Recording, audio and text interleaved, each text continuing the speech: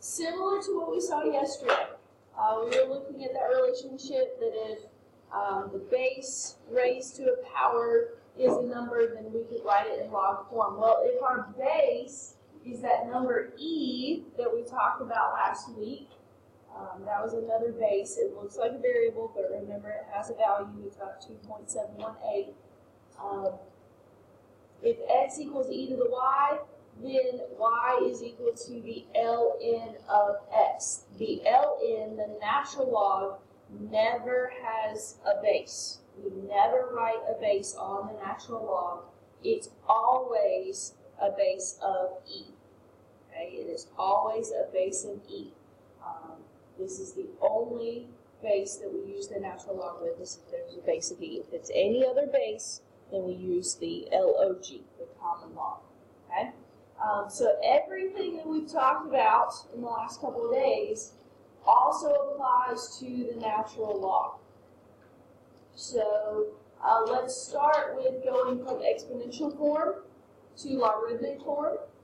So if we have e squared is equal to x, if we write that in logarithmic form, the base is e, so we use the natural log. Um, just so you know, I usually use cursive letters because my L's and 1's look the same, so I write LN in cursive. Uh, that's just my own personal preference. Okay, just like we did with logarithms, the two numbers kind of switch places on the equal sign. Okay, so the x is going to be with the natural log, the 2 is going to be on the other side. Uh, we can check it using the swoop method, okay, that I talked about. The base is understood to be e, so e squared is equal to x. Okay, um, we're good. e to the 0 is equal to 1. Remember I mentioned that property yesterday. Anything to the 0 power is equal to 1. So in log form, that's the natural log of 1 is equal to 0.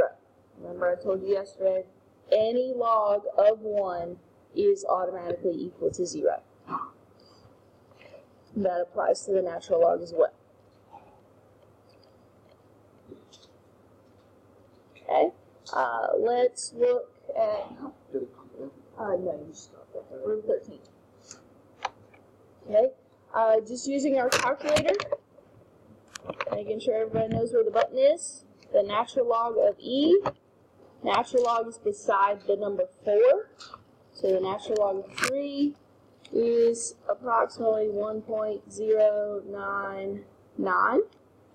I was round to three digits after the decimal.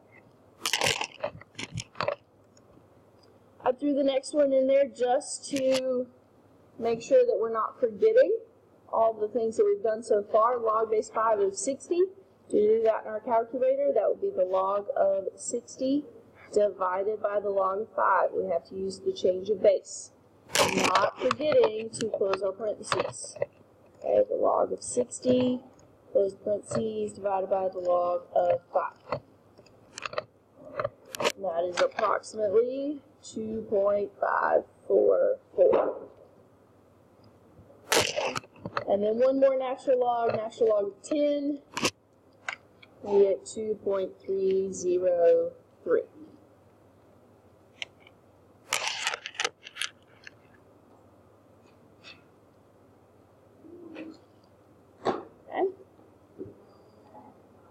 All right, let's look at our properties.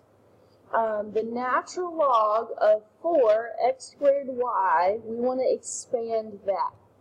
Okay, so we want to expand that. So right now, these are products. We are multiplying 4 times x squared times y. So we're looking at this property right here. So if we're trying to expand it, that means we're going to add them all together. So we've got the natural log of 4 plus the natural log of x squared plus the natural log of y. And then the only other thing that we can do to simplify these is the one in the middle has an exponent. So we can use our power property. So the natural log of 4, we can't simplify that. We can bring that power down as a coefficient. So 2 natural log of x and then we can't do anything else to the natural log of y.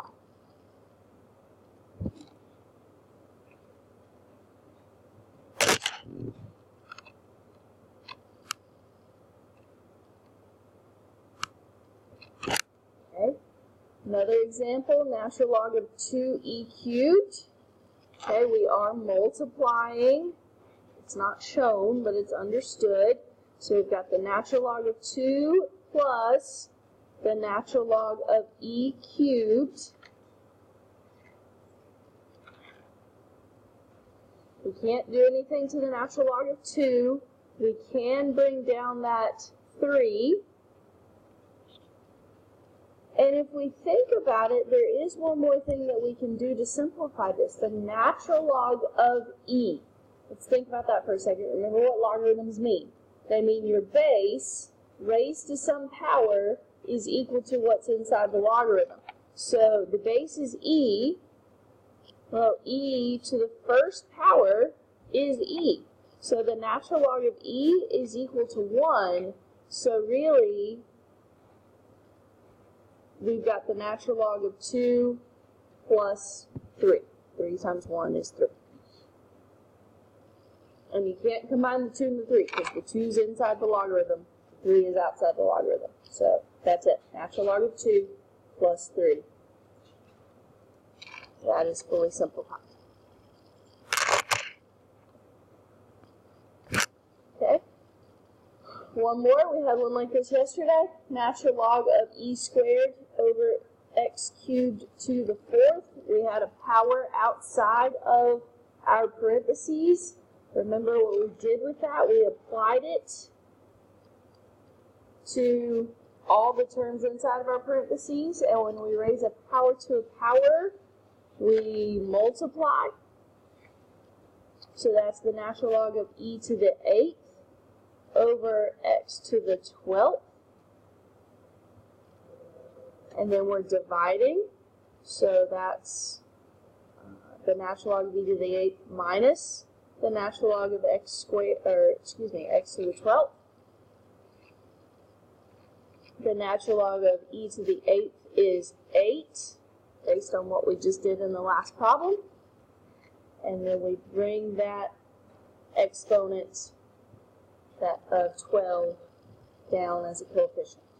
So 8 minus 12 natural log of x. You cannot combine the 8 and the 12 because the 12 is attached to the natural log.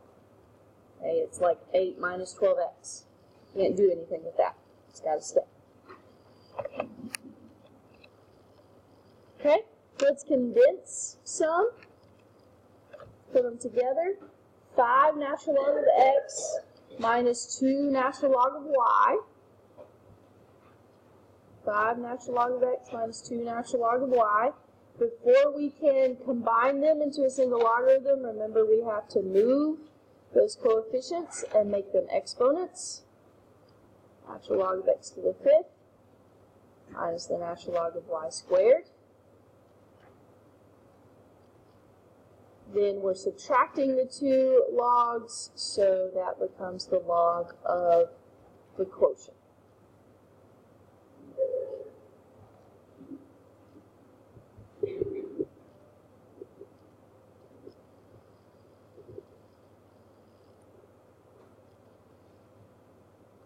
Okay, 3 natural log of A plus the natural log of B plus 7 natural log of C.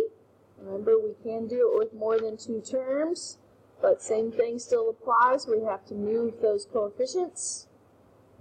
So the natural log of A cubed plus the natural log of B plus the natural log of C to the seventh we're adding all those so we can multiply them inside of a single logarithm. Natural log of a cubed b c to the second. Alright, so the first example we've got natural log of 3x minus 5 is equal to the natural log of x plus 8. Just like with our exponential functions, when they had the same base, we set their exponents equal to each other. Just like with the log problems we looked at yesterday, as long as you have the same log on both sides, you set them equal to each other. Same thing here. We've got the natural log on both sides. So we just set what's inside the natural log equal to what's on the inside of the other natural log. So 3x minus 5 is equal to x plus 8. This is a simple linear equation. Subtract x from both sides. 2x minus 5 is equal to 8. Add 5 to both sides. 2x is equal to 13. Divide by 2. x is equal to 13 over 2. It's an equation. We should always check it. Plug it into the original. Natural log of 3 times 13 over 2 minus 5. The natural log of 13 over 2 plus 8. We get the exact same number for the left side and the right side, so 13 over 2 is our solution.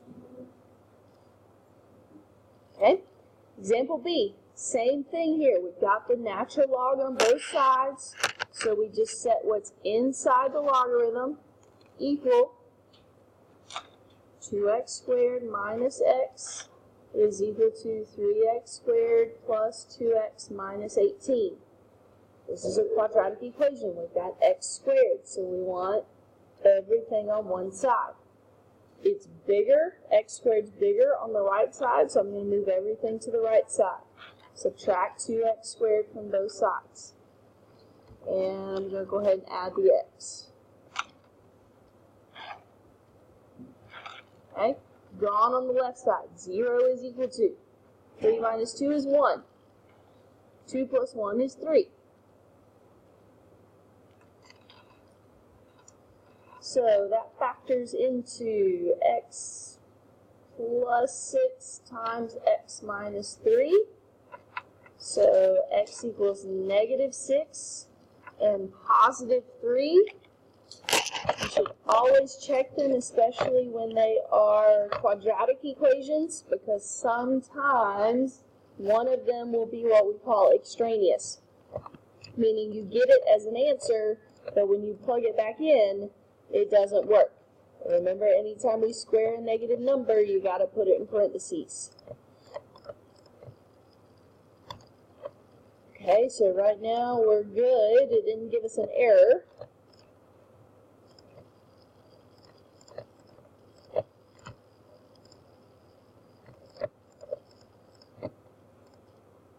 Okay, we get the same thing for the left side and the right side when we plug in negative 6. And um, let's do 3 just to be on the safe side. Because you never know when there might be a problem.